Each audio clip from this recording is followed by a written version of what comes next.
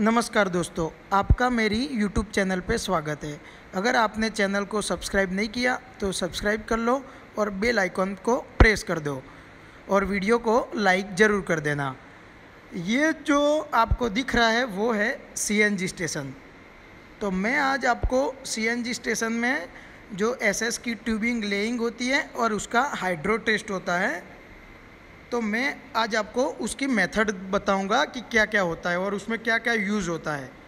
तो सबसे पहले ये जो आपको दिख रहा है वो है कॉम्प्रेसर एरिया बोलते हैं, इसको प्रोसेस एरिया भी बोलते हैं। ये है कॉम्प्रेसर और पास में पड़ा है कास्केड। ये जो आपको दिख रहा है इस वाले में कास्केड है और ये है कॉम्प्रेसर। तो इसमें एसएस की ट्यूबिंग होती है, थ्री बाय फोर्थ की ट्यूबिंग होती है और वन बाय टू हाफ़ की मतलब वन वन बाय टू की मतलब हाफ़ की ट्यूबिंग होती है। तो मैं इसका भी आपको बताऊँगा सारा मटेरियल ये जो आपको दिख रही वो है कॉम्प्रेसर की प्रायोरिटी पैनल, इसको प्रायोरिटी पैनल बोलते हैं। इसमें जो आपको दिख रहा है, तीन तीन छः और एक सात लाइनें नीचे की साइड है। वो सात लाइन में ये है कि इसकी तीन लाइन जाएगी डिस्पेंसर तीन लाइन जाएगी कास्केड और एक लाइन जाएगी फिल पोस्ट पे। तो मैं इसका आपको उसमें तीन मतलब तीन डिस्पेंसर मतलब तीन dispenser high bank dispenser low bank dispenser और मीडियम बैंक डिस्पेंसर और जो कास्केड में जाएगी, वो low bank cascade medium bank cascade और हाई बैंक कास्केड और वो जो सातवीं नंबर की है, वो है एलसीवी फिल पोस्ट की। तो मैं यहाँ से यहाँ से ट्यूबिंग स्टार्ट होती है। यहाँ से स्टार्टिंग करते हैं प्रायोरिटी पैनल से। ये जो दिख रही है, वो है एसएस की ट्यूबिंग थ्री बाय फोर्थ की और वन बाय टू मतलब हाफ़ की। ये यूज़ होगी हमारे ट्यूबिंग में सारा लेइंग करने के लिए। और इसके साथ साथ क्या क्या मटेरियल यूज़ होता है? दूसरा, वो भी मैं आपको बताता हूँ कि ये ये यूज़ होता है। ये एस एस की ट्यूबिंग 316 है। ये इसके ऊपर रेटिंग लिखा हुआ है। दूसरा मटेरियल मैं आपको दिखाता हूँ जो यूज़ होगा। ये जो आपको दिख रहा है, वो है रिड्यूसर रिड्यूसर बोलते हैं इसको। ये क्या करता है? थ्री बाय फोर्थ की ट्यूबिंग से वन बाय टू की ट्यूबिंग में कनेक्ट करना हो तो ये काम में आता है। तो इसको बोलते हैं रिड्यूसर अभी दूसरा है यूनियन इसको बोलते हैं यूनियन जो दो ट्यूबिंग को जोड़ने के लिए काम आता है। थ्री बाय फोर्थ का भी यूनियन आता है और वन बाय टू का मतलब हाफ़ का भी यूनियन आता है। तो ये है यूनियन उसके बाद है, ये है हैवी ड्यूटी क्लैम्प बोलते हैं इसको क्लैम्प जो ट्यूबिंग को पकड़ने के लिए काम आते हैं। ट्यूबिंग को जकड़ के रखते हैं ये ट्रेंच में। तो ये भी थ्री बाय फोर्थ के और हाफ़ के अलग अलग होते हैं। ये हैं टी इसको टी बोलते हैं। इसका काम है दो ट्यूबिंग जा रही है और आपको तीसरी ट्यूबिंग कनेक्ट करनी है। तो ये काम में आता है। उसके बाद है, ये है बॉलवाल बोलते हैं इसको बॉलवाल जो थ्री बाय फोर्थ का भी होता है और हाफ़ का भी होता है। ये है बॉलवाल इसके बाद है एनआरवी इसको बोलते हैं एनआरवी नॉन रिटर्न वाल्व इसके ऊपर ये जो एरो आपको दिख रहा है तो वो एरो डायरेक्शन बताता है कि इसी वे पे गैस फ्लो होगा, रिटर्न इसमें नहीं आ सकता। इसीलिए इसको नॉन रिटर्न वाल्व बोलते हैं। तो अभी हम ट्यूबिंग स्टार्ट करते हैं। ये है प्रायोरिटी पैनल से उतारी हुई स्टार्ट की हुई ट्यूबिंग ऐसे प्रायोरिटी पैनल से उतारी जाती है। प्रॉपर एक एक मीटर पे उसको सपोर्ट चाहिए क्लैंप चाहिए ही चाहिए। ये है प्रायोरिटी पैनल की स्टार्टिंग उसके बाद है कास्केड की। ये देखो आपको कास्केड की दिख रही है। प्रॉपर लाइन में उतारी हुई है। एक एक मीटर पे सपोर्ट मारा है एक एक मीटर पे क्लैंप मारे हैं। प्रॉपर इस तरीके से उतार के ट्रेंच में डाली जाती है। ये देखो आप, ये जो ट्रेंच में बिछाई हुई है ट्यूबिंग इसको प्रॉपर अलाइनमेंट में होना चाहिए। एक भी सपोर्ट इसका ऊपर नीचे नहीं होना चाहिए। ये जो देखो, ये आप पूरी लाइन में दिख रही है, इसके बीच में बॉल वाल भी लगे दिख रहे होंगे आपको। ऐसे पूरी प्रॉपर बिछाई जाती हैं और उसके जो क्लैंप होते हैं, वो प्रॉपर टाइट किए जाते हैं।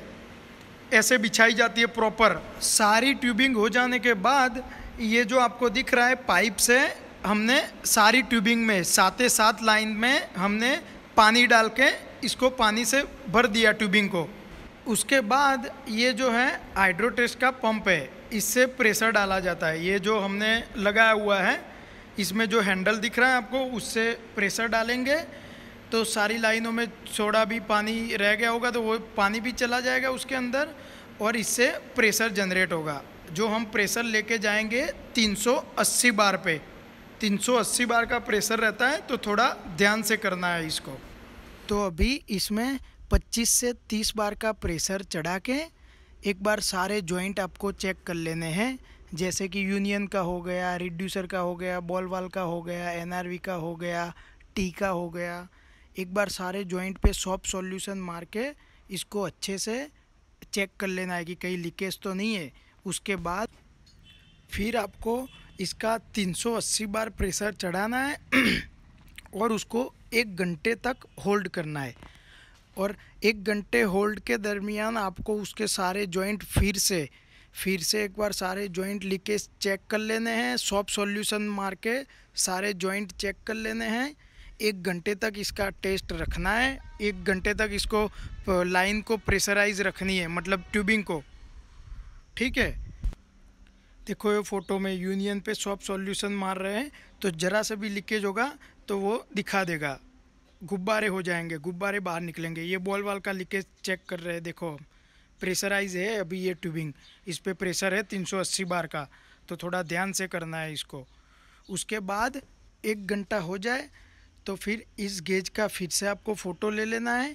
Time step cam, time stamp वाला कैमरे के साथ, उसमें टाइम आ जाएगा, डेट भी आ जाए। प्रूफ के लिए ले लेना है। तो फिर क्या है कि गेज में भी दिखाई देगा कि इसका लीकेज एक घंटे तक ज़रा सा भी डिटेक्ट नहीं हुआ है। फिर टेस्ट ख़त्म हो जाने के बाद ये नाइट्रोजन का सिलेंडर है, ये जो हमने कनेक्ट किया है। उसमें सारी सातों की सातों लाइन, तीन डिस्पेंसर की, तीन कास्केट की और एक सातवीं एलसीवी की। सारों में इससे नाइट्रोजन डालना है तो क्या है कि प्रेशर से पानी निकल जाएगा सारा बाहर और ट्यूबिंग सारी क्लीन हो जाएगी। तो ये नाइट्रोजन डालना भी लास्ट में बहुत ज़रूरी है। मैं आपको उसका वीडियो दिखाता हूँ इसमें कि कैसे डालते हैं। ये एल सी पोस्ट वाला है। जो दिख रहा होगा आप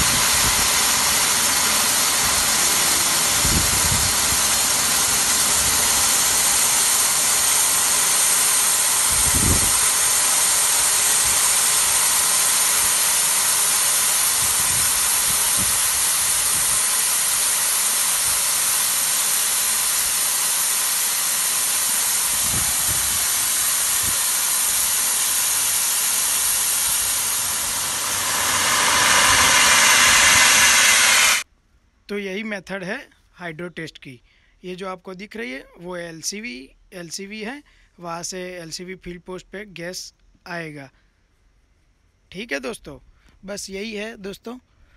को सब्सक्राइब कर देना चैनल को, लाइक और कमेंट ठोक देना, दबा और अगर कुछ हो तो कमेंट में बता देना तो उसका भी मैं वीडियो बना के डाल दूँगा। थैंक यू दोस्तों।